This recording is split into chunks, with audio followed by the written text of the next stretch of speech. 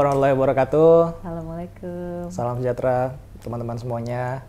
Kembali lagi di Humanisme Podcast. Podcast. Kembali lagi bersama gua Acai dan juga Mbak Eri. Eh, hari ini kita akan meneruskan ya Mbak Eri. Ya. Episode-episode sebelumnya yang udah kita buat. Ya. Dan- Kita mau bahas apa sekarang nih? gue pengen recall dulu teman-teman. Oh, oke. Tahu be- eh, sebelumnya kita bahas mengenai life plan ya. Ya di episode ketiga ya. lupa sih berapa Tiga sih kayaknya. tiga ya Eh, di episode ke sebelumnya kita bahas life plan dan di situ kita eh, membahas pentingnya punya life plan sebagai tujuan kita ya Mm-hmm. tujuan kita dan eh, arah kita untuk mendapatkan cita-cita kita mimpi-mimpi kita gitu dan di sesi terakhir itu kita sempat bilang bahwa dalam dunia profesional Mm-hmm. kita juga tidak hanya butuh life plan tapi juga Karir plan. career plan Ya. gitu. Nah di sini mungkin kita akan mulai dari pertanyaan terus bedanya apa nih life plan dengan career plan gitu. Kenapa life plan aja nggak cukup untuk dunia Ya. profesional tapi kita butuh career, Career plan, plan, juga ya. gitu. Jadi kalau bedanya karir plan sama life plan itu, kalau life plan itu adalah gambaran rencana besar kehidupan kita ya, sampai Hmm. di luar usia berkarir kita pun sudah kita rencanakan, Hmm. gitu. Nah, tapi kalau karir plan adalah memang spesifiknya lagi dari life plan. Jadi kalau Hmm. diibaratkan itu lebih detailnya lagi, lebih mikronya lagi tuh dari Dan life dan plan lebih ke sendiri. dunia kerja, Dunia karir kerja, ya, karir ya, perencanaan kerja perencanaan kita, karir ya. gitu.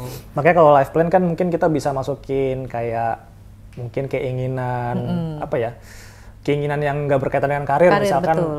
Misalkan orang mau naik haji usia berapa ha, gitu ya. Terus nanti kepengen eh, pengen abis pensiun mau sibuk apa gitu kan.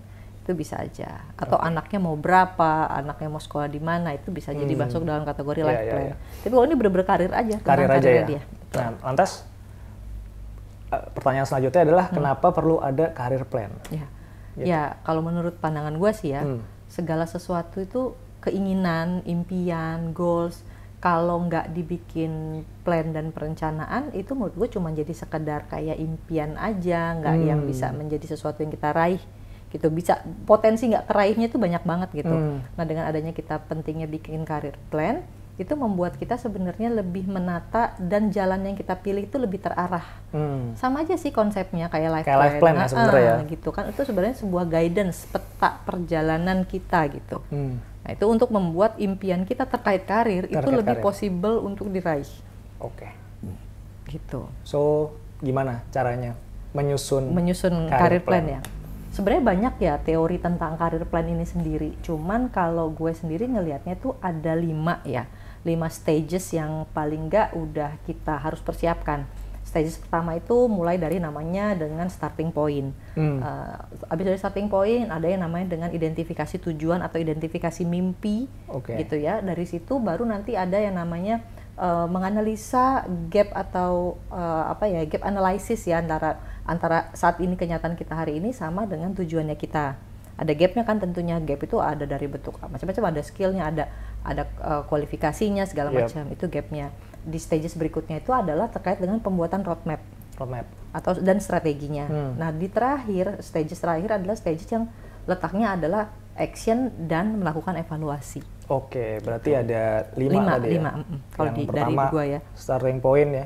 identifikasi kondisi lu sekarang. Betul. Kemudian yang kedua identifikasi dream lu, yang lu Mim- pengen, Ah, ah, yang, lu kita pengen, apa, betul. Tujuan kita lah biasanya tujuan gitu. kita apa, gap analysis, buat roadmap ya, Bikin roadmap-nya. bikin roadmap baru uh, ini ya eksekusi ya, Eksekusi dan action evaluasi, tentunya. Oke. Gitu. Kita bahas satu-satu boleh ya mbak? ya? Boleh dong kita Oke. bahas satu-satu. Sekarang terkait uh, yang paling awal dulu kan starting point. Starting point. Nah itu apa yang yang biasanya harus, harus dilakukan? kita kita lakukan Ah. ya. Kalau starting point tuh everything yang terkait sama rencana kita harusnya itu dimulai dari kita. Hmm. Dimulai dari kita itu mm, berbicara sama diri kita sendiri. Ngobrol sama diri kita, berdialog sama diri kita sendiri. Hmm. Apa sih isi dialognya? Pertama, kita harus eh, tanya sama diri kita sendiri, ini karir yang gue miliki saat ini, Hmm. itu rasanya seperti apa buat gue? Oke. gue nyaman gak sih gue happy gak sih Hmm. gue uh, skill gue tuh di sini tuh ini gak sih uh, mencukupi gak sih Hmm. gitu terus kita juga mesti ngecek apa hal-hal yang kita nggak sukain Oke.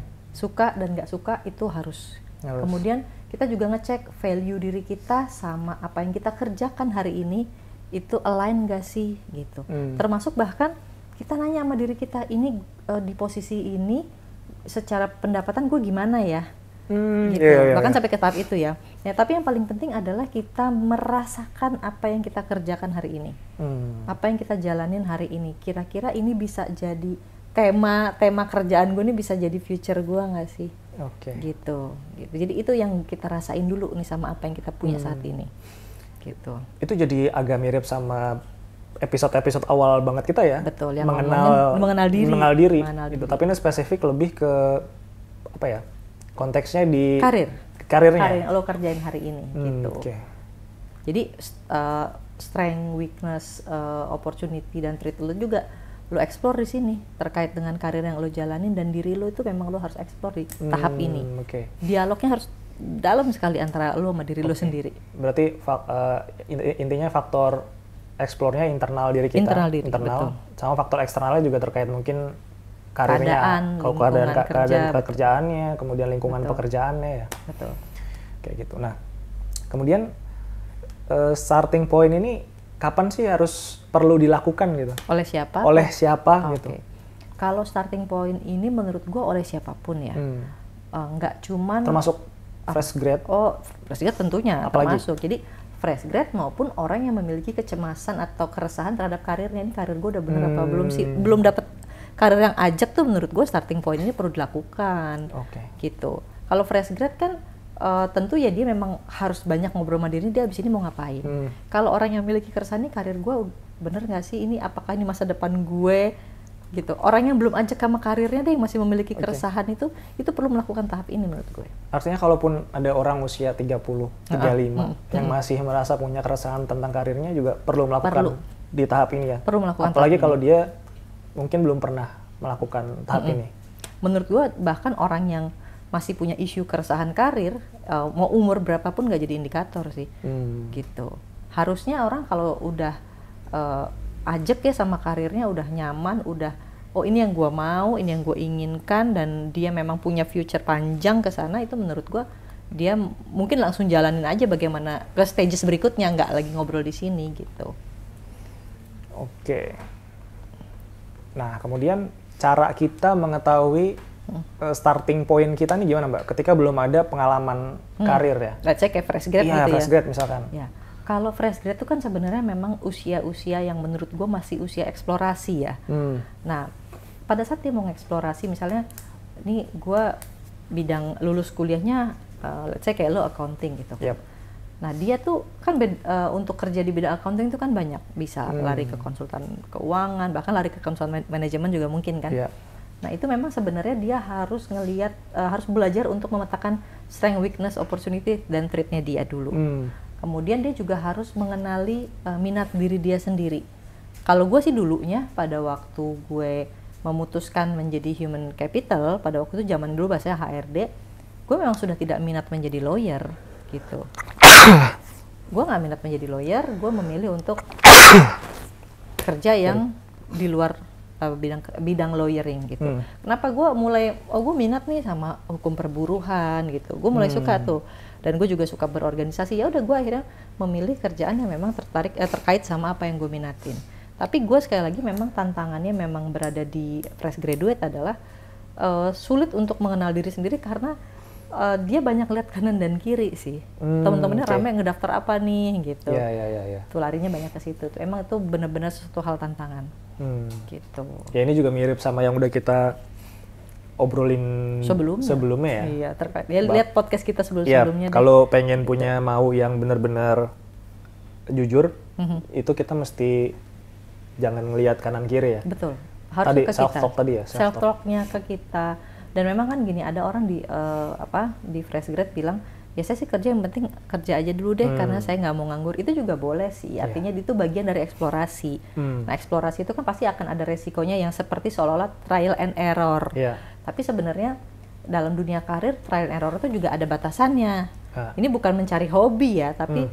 trial and error itu juga sebuah perjalanan yang lu juga bisa mengatakan, oh ini belum, gua nggak cocok, itu nggak bisa dalam waktu singkat. Oke.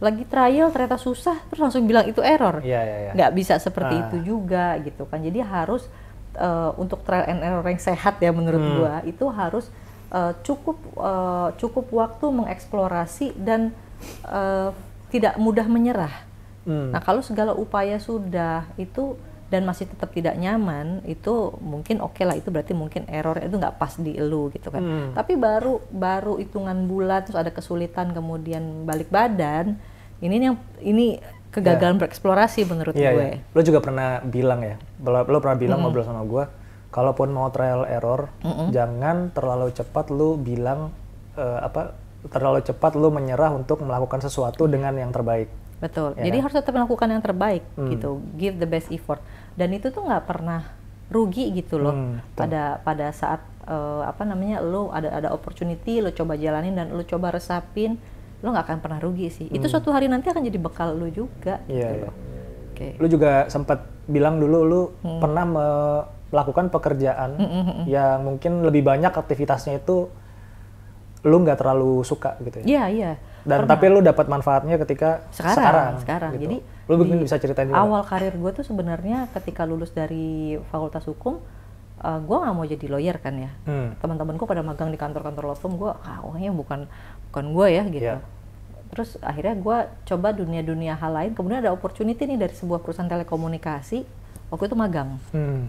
orang-orang pada magang di law firm gue ngambil tuh di perusahaan BUMN Telekomunikasi. itu telekomunikasi besar ya di Indonesia gue ditaruh di sales Hmm. Nggak ada hubungannya sih tapi saat itu apa sih eh, apa yang membuat gue pengen ngambil itu Iya. karena gue ngerasa passion gue tuh ngomong Oke. gue suka berurusan sama orang gue pikir sales kan Dan ngomong sales kan harus ngomong, meyakinkan. oh, meyakinkan ketemu Ah. orang gitu gue melakukan itu tuh pekerjaan dari jam jam 8 sampai jam 5 gue nelfonin orang gue berkomunikasi gue mengatakan produk terbaru kita layanan internasional Ah. pada saat itu kan gue setiap kali pulang tuh gue capek ya Tuhan Hmm. ini kok gue nggak nyaman ya nah tapi gue tet- tetap kalau pagi itu kan datang tuh udah ada list nih ini yang lo harus kontak orangnya lo harus yakinkan gitu. Hmm.